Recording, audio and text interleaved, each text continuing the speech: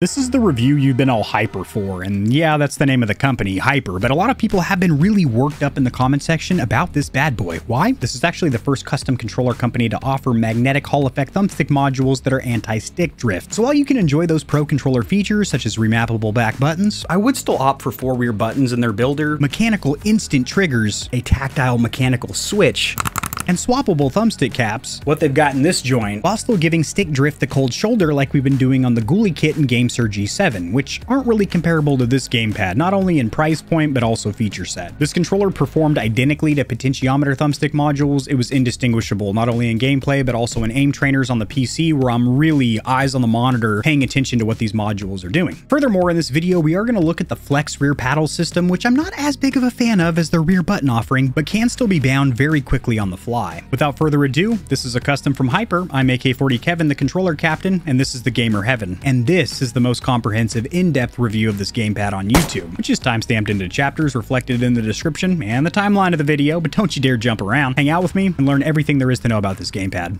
Let's get it. Touchpad, yup. Yeah. Interchangeable. Yup. Bam. This is your controller captain. We've reached 6,900 feet. Go ahead and start flicking the sticks and mollywopping the back paddles. Mm, you don't like back paddles? How about those rear buttons? We've tested almost 100 custom and premium controllers, and we're only at the beginning. You need a thumbstick guide or tutorial on how to overclock your controller? Check out the controller playlist. Bing bong. Controller captain out. A quick disclaimer for my audience, the Stallions and Stallionettes, this gamepad was sent for review, but this is going to be an honest, comprehensive review. I haven't been paid or told to say anything about it, so if there's any cons, shortcomings, or areas of improvement, you're going to hear about it, so these companies make better products over time. As for the packaging included accessories on the Hyper, I don't know if I'm hyper, but I am pretty excited. The box is identical to the two previous Hyper controllers I have reviewed, one for PS5 and one for Xbox Series. It is going to be this burnt orange, eerily similar to Scuf's theme color. You will have this little fabric pull tab, which you'll pull up on, and this magnetized clasp will lift up. You can actually see the magnets in there. Not the prettiest thing in the world, but who really gives a shit? Welcome to performance. You've been greeted, and you're ready for what's down here. Your controller is held in place with this nice laser cut foam, which does have a cutout on top for your finger. One thing to notice, you're not going to have an included USB-C cable, although all custom controller companies have kind of done away with throwing in a free USB-C cable, and they're now either an 8, 10, you shouldn't be paying any more than 12 bucks for a USB-C cable. But they're all charging for a USB-C cable now, assuming that you have one. I'm pretty sure you do. But a big stinky con is that you don't have an instruction manual, pamphlet, or brochure, not even a little placard telling you how to rebind those rear buttons, so you have to Google it. Luckily, it is very easy to dig up online. A simple internet search, the first result, how to rebind these paddles, but you don't need to go that route because you have this review, and I'm going to show you step by step. But this is something I pointed out on my previous Hyper reviews, and it has not been remedied yet. There is still no physical instruction manual, nor is there a QR code to scan to get to a software manual, so that, that you're just kind of confused about what to do with this gamepad. I'm not, I know what to do with it. Use it as a weapon to mollywop the noobs back to the lobby.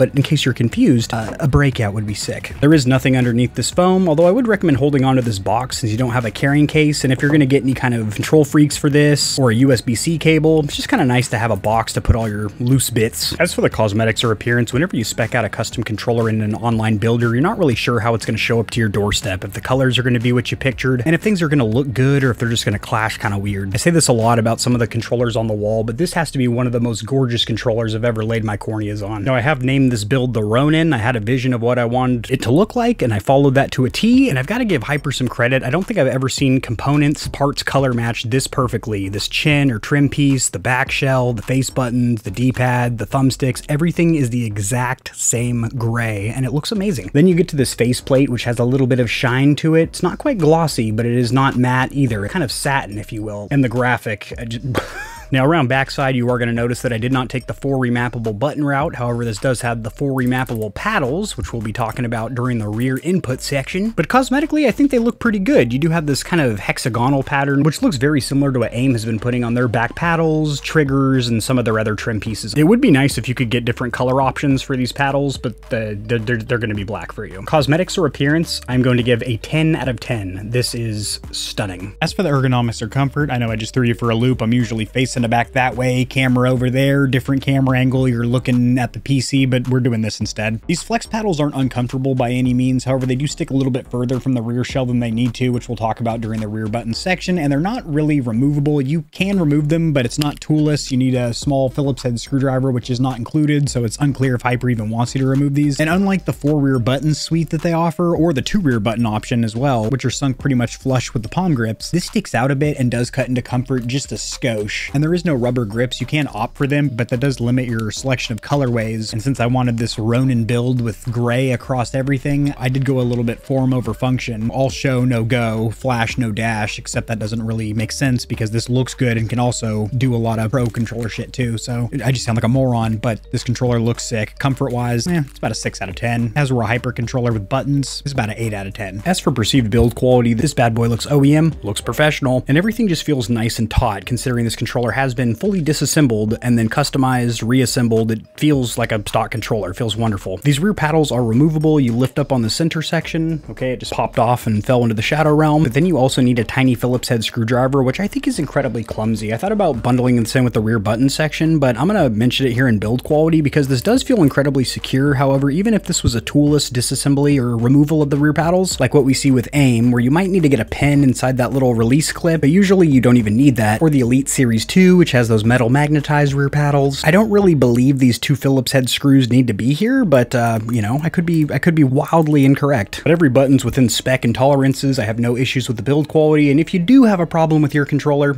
there is a warranty in place, which we'll talk about right now. As for a warranty, Hyper has made a revision to their policy. You do still have that seven day replacement where if you have an issue, maybe you ordered one color and the component came a different color that you didn't order, you can replace it. You can get the gamepad that you wanted. As far as the periodic term, you do have one year of warranty coverage, which is awesome. That covers the bumpers, triggers, mechanical rear buttons, and now also covers stick drift, which is a huge W. One important note, your warranty will of course be voided if there's any evidence that your controller has been tampered with, but since it's already pimped out of its pajamas, all you shouldn't have a need to take it apart to customize it, but in case you have a faulty part and you think, oh, I'm just gonna take it apart and work on it myself, if you're within that one year spec of warranty, I would advise strongly against that and just hit up Hyper immediately. Then they also mentioned that they're pre-builts, the Signature, Legacy, Recon, and Tournament, so not specking out a custom controller in the builder where you're picking individual parts, but if you buy one of the ready-to-ship units. They do still have the 7-day replacement and the 1-year warranty. Also, fine print down here that I like to see, repairs and replacements will be done free of charge within the warranty period because a lot of these custom controller companies are charging you a restocking fee if you want to return your controller just because you don't like it, and even charging the customer shipping to and fro to repair their controller when it's manufacturing defects, which I think is insane. So it's great that they break this out. Hey, we're going to cover it on our dime if it's our fault, as well it should be. Oh, I spoke a little too soon. I just scrolled down here and read this next sentence. You are still responsible for that shipping buster, but any additional fees or charges that they might dig up out of the woodworks? Mm, no, sir. I can also say the D-pad or direction buttons and the face or action buttons are the only two components that I'm a little bit disappointed with on this Hyper controller, and it's not because they don't look gorgeous. Cosmetically, they look slick as snot. There's a ton of options for tweaking the looks of them, which you're going to see firsthand when we take a peek at the builder later, but as far as performance options, there really is none. It's abysmal. In comparison to companies like AIM that offer their digital switches, so many companies call them digital switches, but basically they're mechanical switches like what you'd see in a gaming keyboard. Now, fully mechanical switches that have no rubber plunger mechanism underneath the front face generally have a tap life cycle for millions of clicks. For example, AIM's is 10 million, I think Razer's is 8 or 10. But moreover than all that, because this isn't a very high point of failure on controllers, it just feels better, at least in my personal opinion. IMO, you gotta caveat everything with that, a little period at the end of the sentence. But you're watching my channel, so you kind of stop by for my opinion, and I do like the feeling of mechanical switches, as long as they're quiet. Sometimes they're a little bit loud, like Razer's joints. It shouldn't sound like a mechanical keyboard typing an angry email. They should be damn near silent. Damn, it's hot in this room, but I can't turn on the AC because it'll be picked up on the microphone, degrading the audio quality, and I simply cannot have that. I, I can sit here perspiring for a few more minutes. While this gentleman gnaws on my fingers, I want to explain to you and Hyper that the next thing I would like to see would be performance upgrades for the D-pad and the face or action buttons. Because I've got to say, Hyper's been very aggressive. They've been on the push, introducing a lot of new features. For example, being the first custom controller company to offer HE magnetic Hall effect thumbsticks, and they're doing it at a very reasonable price. For example, I just reviewed a $460 DualSense controller from Modded Zone, and they're charging more than double what Hyper's willing to toss you these HE sticks for, which keep in mind they're virtually stick drift proof for you. Shouldn't get stick drift in your lifetime. That's fantastic. But with the D-pad and face buttons, I'd like to see a mechanical option down the road. But there are a ton of cosmetic options in their builder, and also they feel pretty good. They feel like stock PS5 controller buttons. I'm gonna give them a 6 out of 10 a pop. As for the accessory button suite, so that's gonna be pause, share, the touchpad, speaker grill, the hyper button, which has replaced the PS button but does the same thing, the mic mute button, which by the way, if you didn't know, if you hold it down for a few seconds, it mutes all your game sounds. So not just your mic, but your whole PlayStation sounds. Pretty sick if you can't find the TV remote and the damn thing's blaring while the delivery driver's pounding at your door. A quick note, if you are trying to drop this Pro controller into a charging cradle or dock, you are going to have to remove these paddles for most of them, unless it's one of the versions like AIMS, where it has a USB-C connector at the top, rather than dropping into this accessory port at the bottom, because these paddles won't make clearance. One really cool cosmetic note, there is a red LED that is underneath the speaker grill and comes on every time you power up the controller, and that's also going to be the status light to let you know that you are in remapping mode when you're binding those rear buttons, which we'll do here momentarily. The touchpad feels secure, you can't really feel the hydro dipping graphics when you drag your fingertip across the front, also it doesn't have a weird swivel or pivot point, no more loose than a stock controller. And praise the controller gods, pause and share haven't been all diddled up. For some reason, custom controller companies have a real hard time when it comes to reassembling controllers just with these two buttons here. They're always cockamamie in there, or you have to press them at a weird angle, or they're really squishy. I guess they're just overlooked a lot during reassembly, but no issues here with the Hyper. Accessory button suite, 6 out of 10. Now as for these thumbsticks, they are magnetic Hall effect thumbstick modules, which I'm sure you're very curious how they perform in Gamepad Tester, how they perform in gameplay. Did they feel any different when I'm diddling the sticks? I've been playing on controller for almost three decades, so I, I know what potentiometer thumbsticks feel like in gameplay on first person and third person shooters, so jumping to Hall effect sticks, is there any issue or problem with that? We're going to talk about that later on the PC, but what we need to talk about right now is the fact that I have decreased thumbstick tension on the left, so it's very light, almost like there is no resistance. You can just move this thing effortlessly. And then on the right, which is going to be for aiming, of course, I have the most aggressive resistance, the highest strength. There's two different increased thumbstick tensions, this one and that one. I went for that one. I will say you got to use yourself a KontrolFreek or some kind of thumbstick cap add-on with a little bit more height because it is an insane amount of resistance and you do really fatigue your thumb pretty quickly if you have the stock height because you don't have that extra leverage, making it easier for you to move that stick. But let me just praise this configuration or setup for a minute. I love having that mental contrast of having a very easy to move, effortless stick on the left and a very taut, gotta be intentional with my movements for those precise aiming on that right stick over there. That is why I generally only get increased thumbstick tension on the right, which is for aiming. However, if there's an option available for decreased tension, which I don't recall seeing until now, Battle Beaver might have that option. Yes, they do. I was curious myself, so I checked it out. They got decreased and light over here. But this is definitely the first company to offer it on Hall Effect thumbsticks. So not only are they the first custom controller company, boom, here's HE sticks in our builder for like $14 for each side. Very reasonable price. Keep in mind, they have to recalibrate those suckers. Little mo labor on their end. But damn, these perform hella good. Clicking down L3 and R3 feels quite secure. These thumbstick caps also very grippy. They're damn near flat, so they're not like the hybrids from PlayStation, which have a little bit of a dome, and then they have that lip or dish around the outside. Don't look at my pit stains, just look right here in my eyes and pretend I'm not sweating profusely like a fucking Yeti while I'm shooting this review. I've got six lights on me right now. It's actually four. I'm exaggerating, um, but you know, it feels like six. God damn it. I still want to be here though. I'm having a great time. I'm pretty hyper about this review. It's the name of the controller. So not only are they coming out of the gate swinging with HE thumbsticks at a reasonable price, which at first they got off to a little bit of a rough start. The first batch, the first two or three weeks, they didn't have the recalibration boards that they needed, so they had small issues. One was an audible noise, a little clickety McClicky, which some potentiometer thumbsticks have when you're breaking neutral. As soon as you break neutral and get out of the dead zone and start to move the right analog stick just ever so slightly, you get like an audible click. It's really weird. But the bigger issues were a little bit of jitter at neutral, a little bit of noise, if you will, so it's sputtering around when you're not really touching the thumbsticks, which a lot of times you don't even notice in gameplay, especially on the console side of the house, because there's automatically dead zones baked into those games. Yes, you can go into the settings and taper back on your dead zone slider so they're more responsive for you, and you might notice that little jitter where your character's moving back and forth on you with that first batch. The other issue was a circularity issue. They weren't very circular in the circularity test. Furthermore than that, some of those circularity issues were kind of noticeable noticeable in gameplay from what I'm hearing on the streets. The controller paved roads. However, the current batch, what they've got in this joint, as we're going to see in Gamepad Tester, and also we're going to talk about the actual gameplay experience, is quite solid. Metal Gear solid. If you haven't seen my Master Collection review, it is linked in the description below. It's a little bit of a cash grab, but not as offensive as the GTA Definitive Trilogy. At least you can play these without crazy bugs and glitches that weren't even in the original games. As for KontrolFreek thumbstick cap compatibility, we do have the Tyrannical Trio, we got the White Galaxies for PS4 and 5, we got the Red Infernos for Nintendo Switch, the Pro Controller, not the Joy-Cons, and then we have Black Omnis for the Xbox One and series. PlayStation's quite snug, although you can pinch and twist it, but in regular gameplay, you're not going to feel that. Switch Pro is even a little bit snugger, so I would pop for these. And the Xbox ones, you have to really force them on. You feel like you might damage the stock caps, but you don't, and it shoves on very securely, so you can use any of the three on these. And the thumbstick option that I chose in the builder, not the modules, those are Hall effect, but the actual caps is called Pro, which are pretty much flat, but very grippy and have this nice little line pattern around the outside. So the KontrolFreek compatibility I just tested is for these thumbstick caps. But if you have the interchangeable swappable Johns, you don't even need to worry about KontrolFreeks. You just pop them off, pop them on. Over here in Gamepad Tester, and as you can see, these look like standard potentiometer thumbsticks. As I move them to and fro, and then I stop, they snap back to a default resting value of 0.00392, pretty consistently.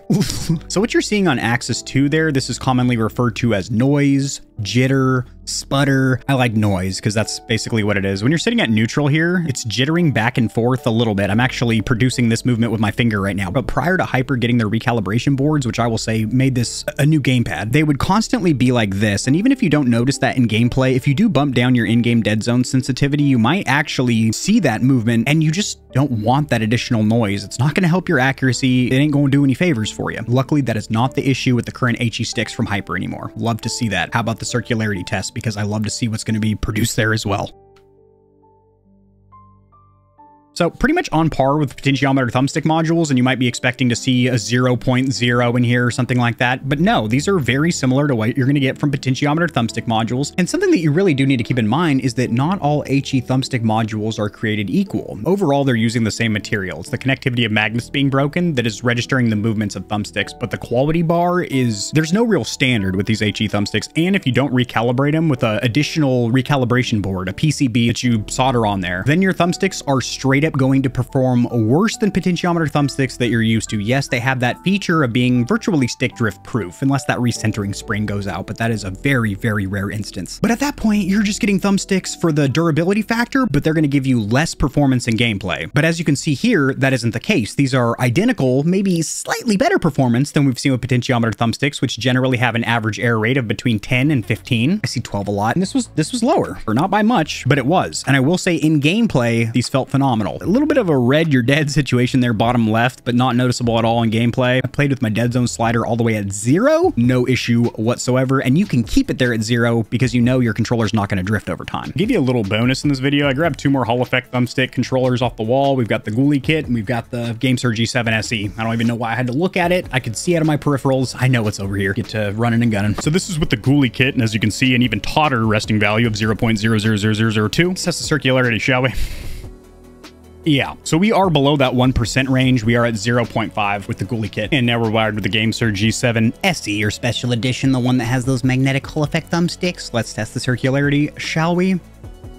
Also, right around the same range as GuliKit. Let me explain why there's a Big difference here. It's the easiest way to explain this. Controllers like the GuliKit and the GameSir G7 SE are sourcing completely different thumbstick modules in comparison to Hyper, Modded Zone, and any of these custom controller companies, AIM, Battle Beaver, Hex, Cinch, Mega Mods, that are going to start releasing HE magnetic thumbstick modules. Now, if you personally, as a one-man or woman army and one individual wanted to buy these thumbsticks, you can on Alibaba, AliExpress, and then drop them in, don't calibrate them and see what they'd be like, or calibrate them and see what they be like a little bit better. They are still not going to perform as good as, say, for example, GuliKit, which is the first company to make this technology readily available in a controller. Yes, I talk about it all the time. The Dreamcast controller over my shoulder had magnetic Hall effects. It wasn't really adopted. It wasn't made readily available in controllers. It does seem like the third-party manufacturers that design their controllers in-house and don't start with a stock Xbox, PlayStation, or Nintendo controller, disassemble it, customize it, reassemble it, ship it out to you. The ones that actually are their own shape and shell design design. They source all the parts and components individually and put them into their own body, if you will, seem to perform a lot better in my testing, which my testing, you might wonder, what the hell is that, Kevin? Off camera, I plug in one gamepad after another if they have Hall effect sticks, and I diddle with them, and I look for discrepancies, things like jitter, things like issues in the circularity test. And I will say, thus far, Hyper is the only custom controller company that is offering HE thumbsticks at a reasonable price, like $13 per module, will not get you stick drift, and they perform identically in gameplay. I couldn't tell that I wasn't using just the normal potentiometer gamepad. This is the first custom gamepad that felt like that. Previously, I could have gotten that feeling with the GameSir G7 or the Vader 3 Pro, which perform as good, if not a little bit better, as we saw in the circularity test. These hyper sticks, not bad by any means. They're, they're exactly what you're used to with potentiometer thumbsticks, but a little bit better and can't get you stick drift. Sick. I can put these down now. So just to summarize all of that hoopla, gamepads like this are going to have better HE thumbsticks than gamepads like this, at least for the foreseeable future, until HE thumbstick modules that you can get readily on Temu and AliExpress catch up with GuliKit's patented technology. They patented the shit out of it because they were literally the first gamepad to, to be doing this, other than the Dreamcast joint, the first modern controller company to be doing this. In fact, that's what GuliKit is known for. They even make drop-in modules for the Steam Deck, and you just know those modules are going to be top tier, gold tier because, well, the, the, the company that made the technology. Not made the technology. It's existed, like I said, you know, Dreamcast, but they made it readily available, were the first adopter of it, and seem to be implementing it the best. So bottom line, would I recommend these sticks? Well, honestly, it depends. They're actually pretty cheap and maybe to put inside an old controller that you want to save it, especially a controller that goes through a lot of heavy use and you're not looking for the most accuracy possible, they're actually pretty decent. They're not too bad. Just because something has the name Hall Effect on it doesn't make it better. And that kind of brings up the subject, why haven't we been using Hall Effect sensors all along in controllers? But Hyper has also done not just an admirable, but a very good job dropping HE sticks into a custom controller that has Pro Controller features. See, I didn't confuse anybody there. We're not confused. We all know everything now. As for the bumpers and triggers, this is another component, or set of components I should say, where there was a little bit of disappointment. Previously, the D-pad and action buttons left me a little bit flaccid, but now we're talking about this suite up here. For $15, you can get the quick switches, which will add mechanical switches to the bumpers and triggers. It's a shame that you can't separate that because I always advise skipping that feature on bumpers because they're already a short squeeze, and then popping for them on the triggers if you're going to play competitive shooters, first or third person, pick your poison, because you get that one millimeter squeeze with an instant actuation with that mechanical switch. Also, just the sound they produce is very satisfying. Mm, back to the lobby with you. Do not pass go, do not collect $200 straight to the lobby with you. My next complaint is you only have four colors available in the builder, five if you include the stock black switches, which I'm inclined not to. Then my third and final complaint, and the biggest one in my opinion, is that you have to pick and choose. Do you want those linear stock triggers so you can use this controller on racing games or those first party SIE titles that have little mini games where you need to squeeze these a certain amount? Or are you going to use this for first person shooters like COD and Apex where you want that mechanical switch? It's a shame that you have to pick and choose and you can't just use this gamepad for all of your games. You're buying buying a very expensive gamepad, you want to be able to use it on all platforms for all games, and you're simply not going to be able to, not with these kind of triggers. I personally prefer on-off trigger stops like we see with the DualSense Edge, which are actually three-way trigger stops, although when they're third stop, they actually don't cut off enough of the squeeze for my personal preference. That's where the AIM V3 paddles take the cake for the best PS5 triggers on the market, as they are on-off switches, but you also get a tactile mechanical switch just like these hypers when you engage them. However, these are by no means bad, and I will give the bumper and trigger suite with these mechanical switches an 8 out of 10, as they are very nice, and I do believe $40 is a reasonable price to ask for mechanical bumpers and triggers, although I do wish that could be separated in the builder. For example, a $15 option for the bumpers, another 15 or 20 for the trigs, because then my audience can just opt for the triggers. Also, I'm not sure why I chose black for this build, maybe because it goes with the black rear paddles. I don't know, it does look a little bland and boring, and I wish I would have gone with I remember now. They actually didn't have the color I wanted. I wanted this kind of gray to match the rump or tuchus this controller, but they only have black, white, red, green, and blue, all of which would look silly on this gamepad. I'm a little sweaty and disheveled, not because I was watching Cops, but because I burned a thousand calories on the elliptical like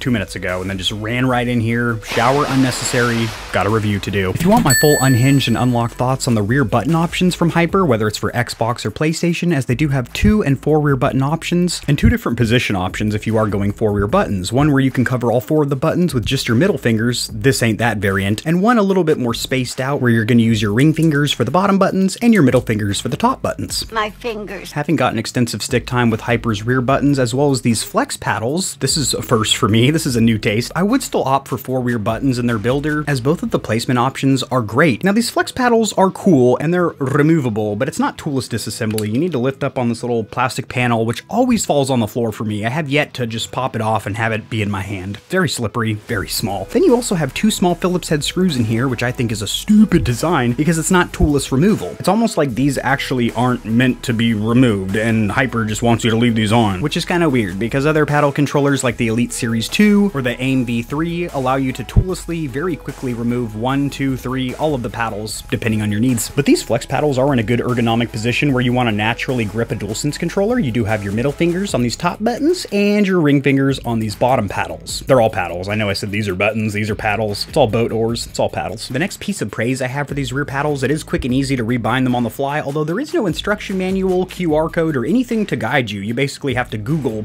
how do I bind my hyper rear buttons? First result you're gonna see is gonna guide you through the process, or you can watch what I'm about to do. I was just jaw jacking and lip smacking for like six minutes. I showed you how to rebind the buttons, gave you my pros and cons of these bad boys, and the damn camera wasn't even rolling. Fuck my life. Start with the pros, because there is a few of them. First of all, I will say I do absolutely prefer the rear buttons from Hyper over the rear paddles, as they share pretty much the same pros, but their specific cons, limitations, or areas of improvement with the paddles over here. One thing I love about both the Hyper variants is you can remap or bind the rear inputs on the fly. Love to see that. You don't need an application, and it is a pretty quick and easy process. You do need to be powered on and paired to either your console or your PC, and you're gonna hold down on the D-pad as well as cross for 10 seconds. And in that speaker grill, you are gonna get a red light right there by the hyper button, or the home button if you shall. And yes, we shall remap these rear buttons. That light's gonna go solid for you, then you're gonna press and hold the combination of the face button or D-pad that you would like bound to whichever paddle. So I would like cross, dedicated to this paddle right here. I'm gonna hold down for a few seconds. You're gonna get a flash of that red LED. Then it's gonna go right back to solid as it does stay in remapping mode, which I really like. You can rattle off the rest of the three bindings and then to exit remapping mode, oh, the controller just powered itself off, but all you need to do is press down on the D-pad and it gets you out of mappable mode and into playable mode. The longest part of the procedure is just holding down and cross for 10 seconds, but once you're in mapping mode, it stays there and you just need to press down, not hold it to get out of mapping mode. That's great. Next pro is that these are in a good ergonomic position where you want to naturally wrap your hands around the palm grips of this DualSense. Your middle fingers are on these top paddles and your ring fingers are on these bottom two. Keep in mind, if you do want to be able to cover four rear inputs with just your middle fingers, you have to go the button route. I also do like the stippling or texture. It's very reminiscent as to what AIM is using, that hexagonal pattern, but just slightly different to not step on their toes. It does provide a nice grip while being kind of smooth and satiny on your fingers. I, I like it a lot. The next con, these do feel a little bit cheap. You can lift them up, and uh, it's not very confidence inducing. I understand they'd have to use a very thick, durable, dense PCB, PVC, whatever the acronym is, plastic to make this not happen, but Jesus. And the biggest problem here at a glance is that these rear paddles sit further from the rear shell than they need to. All controller manufacturers watching this video, try and get your rear buttons or inputs as close to this rear shell as possible. That is great for ergonomics, and that makes it to where newcomers to rear buttons or back paddles don't immediately get offended when they grab one of these pro controllers and then go back to using the face buttons and D-pad. The whole purpose purpose of having those rear inputs so you can keep your fingers on the thumbsticks walking and aiming, like the stallions and stallionettes do. They're the ones bucking you back to the lobby.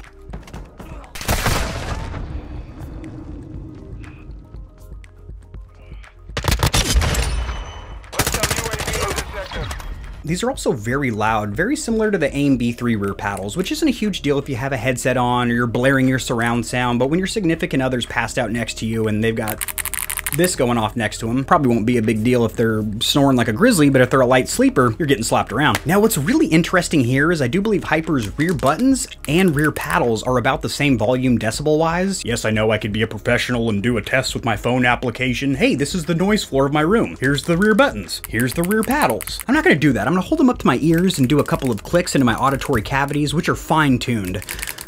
Yeah, it's about the same volume, almost identical, except it's more of a low frequency, a deep rumble, if you will, on the buttons, and then more of a high frequency, hollow and tinny with the paddles. And I do prefer the sound of the buttons. They seem quieter, even though they're really not, just because of the sound it produces. After using the flex paddles, I'm to give them a 6 out of 10, the overall package, but as for the rear inputs, if you go with the button option, I don't know what the hell I gave this bad boy in my initial impressions review, but I've got a lot more stick time with it, and it's feeling about an 8.5 out of 10 for me, an 8.5 out of 10. I'm gonna give it a nine actually. Just it deserves that extra half point. These are ooh, they are a little loud though. No, that, that that's why the 8.5 exists. That's why those half points exist. They're fucking loud. Hmm, another little cosmetic note, you can get different colored rear buttons, but you cannot change the color of the paddles in the builder. And another con or downside for going the flex paddle route. If you're gonna build a hyper controller, I personally recommend going the four rear button route. Unless you want two inputs, then they have a two rear button version. This has identical battery life to a stock DualSense controller, which I have an entire video going over how you can kind of eke out a little bit more battery life by turning off things like the adaptive triggers and haptic feedback and muting the onboard microphone, which is listening constantly. But this is another weird little wives tale that I've heard before, and I want to just debunk it as well. There is no battery difference in one of these custom controllers because they start life as a stock Sony, Microsoft, or Nintendo controller, get disassembled and customized from there from one of these companies. So the battery on board is a stalker. They're not increasing it or decreasing it. Still a 1560 milliamp hour on this bad boy. And you still have the same features in there that are going to drain the battery, haptic feedback, adaptive trigger motors, which have been disabled. So that might squeak out a little bit more battery life. It, really isn't that noticeable. It, it, performs just like a normal gamepad battery life wise. Getting our stock input lag or delay and X input test is going to be a little bit of a chore because it's a PlayStation controller. Not really a chore. You just need to launch DS4. Just going to spoof the PC into thinking this is an Xbox 360 controller. There's an update. I'm going to do it. Run with admin rights. Okay. Right click, properties. I'm going to leave this in the video so you know how to do this too. Go to compatibility, tick run this program as an administrator, apply. Okay. Now I should be able to do that update. Awesome. Controller is recognized that DualSense 100% battery life. You can change the color of your LED lighting around the touchpad, of course, but that's not what we're here for. Click on edit for a sec. Come over here to other emulated controller 360. Good. It's doing what it ought to. Minimize it, but don't close it. Launch X input again. Boom. Yep, we got a 360 controller plugged in. Psych. 4 milliseconds of input lag or delay on a stock clock, 250 Hz style. As we well and damn well sure know, these are no slouches on PC. The DualShock for PlayStation 4, the DualSense for PlayStation 5, great PC controllers because they're lickety split speeds. And they can be overclocked, which we're about to do right now. So with an over, under, sideways, and across clock, or what you might call an overclock, we were able to get under 1 millisecond of input lag or delay on a 1000 Hz overclocked polling rate. You might be wondering, Kevin, why don't you push to 8000? Because I generally only see a 0.01 millisecond increase between between the two options. On 1000, I'm generally around 0.93 milliseconds. And then at 8000, I'm at about 0.91. So I guess that's two milliseconds difference. And while I personally haven't experienced any connectivity issues with 8000 hertz, I have heard that pushing it to 8000 does cause a lot of controllers to act a little bit janky. And since I've heard that 0.01 millisecond, you're going to lose that in your gaming loop anyway, between your controller to your monitor, then back to your eyes, and then to your graphics card uh, or to your console. All the devices or inputs that accrue input lag or delay. You're not going to notice 0.01 by going from 1000 to 8000. That's just my uh, answer because I've gotten that question a lot in the comment section. Hey Kevin, do you have the latest Lord of Mice? Why don't you go to 8000? I do and I don't because there's there's no need for it. At least in my personal experience, which could be different from yours. As for converter support, ignore all the blankets, I have a dog. With the XB2, you can pair via Bluetooth to play on Xbox Series, and with the NS adapter, you can play on Switch. Those are linked in the description below. I don't remember HYPR's website having black borders on the side where it can't fill out the screen. I'm on a standard monitor, not an ultra wide or anything. This is just a 16 by 9 aspect ratio, and there's these weird borders. Anyway, website itself is actually pretty sexy. Cleanly laid out, nice high quality pictures, and most importantly, easy to navigate. You have the shop tab over here, which is going to break out different platforms, and you can also get Hall Effect thumbsticks on a PlayStation 4 controller as well. So if you're still on PS4 or you just prefer the DualShock's layout and you play it on PC, then yeah, here you go. And then in the shop tab, if you click on Hall Effect controllers, it is going to take you to some pre-assembled, ready to ship joints. My biggest problem with these is a lot of them don't have a remap chip, so it's going to be static buttons. And also you're not able to pick and choose. Do I want rubber grips? Do I want a colored face buttons? Do I want two buttons close to each other? Do I want them more spaced out so I can involve my ring fingers? You don't really get to pick and choose. I mean, this one actually looks pretty sick. Like it has everything you need. 200 bones. And that is something that I need to mention. If you are on a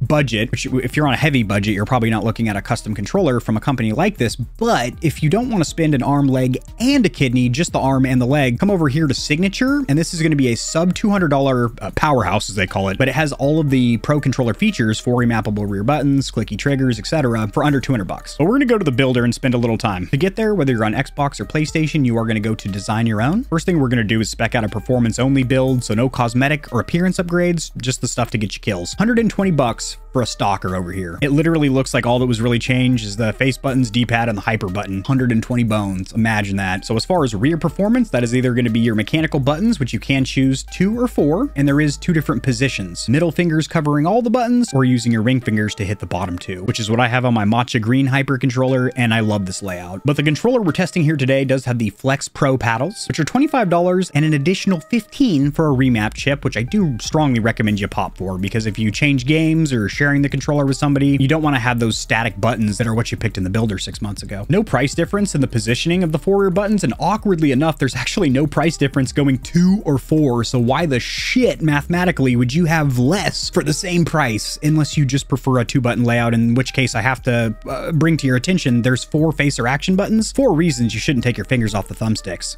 just my personal opinion. And it's 20 bucks for the mechanical buttons plus an additional 15 for the remap chip, so 35 bucks out the door. As where it's $40 for the paddles, which I actually liked not as much as the buttons. So we got four remappable buttons with a remap chip. Then we also add these quick bumpers and triggers. We're going to leave off the HE thumbsticks for this build. We're going to skip over increased or decreased thumbstick tension. This is a performance only budget build, if you will. And then I'm going to choose interchangeable thumbstick caps. It's going to save you a little bit of money on KontrolFreeks or whatever interchangeables you usually get. And you're going to be able to change up the height. Keep in mind, they are going to have the same shape. They're going to be the hybrids that PlayStation uses. But swappable thumbstick caps is pretty much a pro controller staple or feature you expect. The three being remappable rear buttons, swappable thumbstick caps, and instantaneous triggers, clicky clicky bits. Six, we got our performance only build, 189.95, which is pretty much the signature series, except they usually have prettier faceplates on them. If you're just going for a performance only build from HYPR, I actually recommend just going for one of their pre-built signatures over here. They don't have as many cosmetic options, but they don't look ugly either. This carbon fiber one looks cool. Shit, this lime green one ain't bad. This little blue joint, decent too. Something to keep in mind if you leave the builder for whatever reason to browse their website and then come back to the builder, it does not save any of your changes. It refreshes to a stock controller, so make sure you leave the tab with the builder open. We spec that a performance only build, but let's crank the knob to 11 and add every single feature we can and see how large this number can become. How offensive to our wallets. Four rear buttons, change the color of them, gotta remap them. Yup, I want that. Yes, I want Hall effects. What you silly or something? Decreased on the left, increased on the right because of the same price. Designer faceplate, you already know. Yeah, that'll work. Little Damascus in there. They don't have too many designer faceplates, but if you click on colors, they do have quite a bit more flat and gradient colors. Still not nearly as much as other builders though. The trim is going to be this chin, make her gray. Home button, hell yeah, four bucks to change the color of it. Why not? Touchpad, yup. Yeah. Interchangeable. Yup. Bam. Bam, bam, bam, bam, bam. Little cosmetic con, you do have the standard stalker buttons, then you have crystal and matte, but none of these have the actual lettering, or not lettering, those are Xbox buttons, but symbols for PlayStation buttons. It doesn't have the actual symbols or shapes on there, which I kind of like those buttons that are colored but still have the shapes. They look a little bit more OEM factory. Same thing with the D-pad. They're all one solid color instead of having the little arrow lines, which I think looks better, and other builders from other companies do offer. Let's keep cranking on the options, increasing the price. For the rear shell, you do have these matte colors, although only three of them. And then you have the sport grip, which I do strongly recommend popping for, which is going to be this anti-sweat grip. Feels very nice in the hands. Only 18 bucks too. And then this is just silly to me. Why would you pay to remove a feature of a stock controller, especially if you're using this to play first-party Sony Interactive Entertainment games, which make full use of that incredibly immersive and strong haptic vibration. But we have to because it's going to add to the build cost, and we're trying to make this stupid expensive for science. Now, this is great to see. They don't have any warranty tiers or paid options. It is just a one-year standardized warranty, which does include stick drift. Love to see that, and you do have seven-day free replacement. So if you got a different colored face button that you ordered, hit them up immediately and get a replacement. And then for $20, you can request express bill. Just because you express it does not mean it will get approved. You're going to get an email within two days from the admin explaining if that's feasible for them. If they're backlogged with orders, they're not going to be able to honor this. And that is something that I need to roll right into, and that is going to be the wait time with these controllers. But first, let's take a look at the, yeah, 33180. That's actually much cheaper than other builders. I can easily get into the mid fours with other companies. So if you want a fully loaded John, that's a little bit less offensive. It looks silly because I slapped on random objects, mixed, matched, and stinky, but you could make a prettier controller. But now we need to touch on wait time, which is something I always talk about with these custom controller companies where they have a builder, because when you're creating a custom controller online, they need to do just that, build it. They disassemble a stock controller, take the pieces and parts you selected, put it together, test it to make sure all the buttons aren't fucked up, and then send it to you. So because of that, if you want a controller quickly in your hand from HYPR, I would recommend going with one of the pre-builts, the Signature Series. But with those, you will not be able to select those HE thumbstick modules, those anti-stick drift modules. That's only in the builder as of current. But down the road, HYPR might implement that in some of their pre-builds, maybe a higher tier pre-build, more expensive one. The current lead time, according to HYPR, is five to six weeks as they have hired four additional members since they started offering the Hall Effect sticks in their builder, and that's great. However, there's two members of my community, one in the Discord and then one that floats around the comment section of all my controller reviews that have both been waiting on custom HYPR controllers for over two months. And while it seems like their orders were placed, well, indeed, like two months ago, and now HYPR has hired additional staff, got more hands on the assembly line, so to speak, and is catching up to their target of five to six weeks for build time. But with all these custom controller companies, it really does fluctuate. I've seen companies go as low as a week getting a controller built and shipped out. And then I always share the experience of my Battle Beaver where it took two and a half months with zero communication from the company other than an email to let me know that the triggers I selected in the builder were no longer available because they had waited a while to start my build. And that's not an uncommon experience in the controller community by any means, unfortunately. We'll start with the cons, shortcomings, limitations, areas of improvement because I think there are less of them. I'd like to see the bumper and trigger option for mechanical switches separated. Bumpers 15, 20 bucks, triggers the same. However, if they're using the kit that comes linked, it's it's it's all one piece, then that's not going to be possible. But it'd be cool considering I usually skimp out on the bumpers because the stock squeeze is already like one millimeter and they're not a big point of failure, and then just spend that money on the trigs. Along those lines, I would also like more than five colors for the bumpers and triggers in the builder, please. These Flex Pro paddles aren't bad by any means, but my preferred rear input system from HYPR is going to be their four rear buttons with the spaced out layout where you use your ring fingers as well. These Hall Effect thumbsticks look good, smell good, taste good, perform good, but a uh, little limitation or con here. If they could look a little bit better in the circularity test, that would be fantastic because there are other Hall Effect gamepads such as the GuliKit and the GameSir G7, which are below 1%. And it didn't seem like it was because of a baked in outer dead zone or anything that was causing it from reaching the outside of the bottom left. It was just that they could be calibrated a little bit better. But as they stand, they're better than most potentiometer thumbsticks. Most gamepads you'd pick up, an Elite Series 2, a DualSense Edge that have potentiometer modules, this is going to feel the same in gameplay. The next con is the fact there's no instruction manual, no QR code to scan, or no little placard or card to get up and running with how to bind the rear buttons. You have to Google it as of now. And that's been an ongoing thing on my last two HYPR controllers and still hasn't been remedied, but one day. The biggest con here is going to be that wait time, which is going to get better over time, but since this is the first custom controller company doing the HE thumbsticks, they're a little backed up. As of now, that will go down to about four to five weeks. I think that's all I got in the cons department. Moving on to the pros, cosmetically, this controller looks gorgeous. It turned out exactly like it looked in the builder, which is fantastic. I will say all the grays are color matched, which you don't really see on a lot of builders. Sometimes the face buttons don't match the D-pad. That doesn't match the thumbsticks, which doesn't match the trim, and the back shell doesn't match anything. All of HYPR's rear inputs are actually pretty good. Even the flex paddles, which I'm not a huge fan of, aren't bad. And their two four rear button options are great. Also love the fact that you can remap them on the fly very quickly.